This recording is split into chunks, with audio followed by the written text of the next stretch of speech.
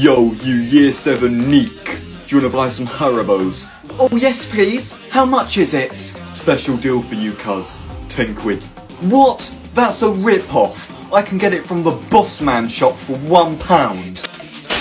What do you say about me, bro? Come on, square up, cuz. I didn't say anything, I'm sorry. Yeah, on your bike, batty boy.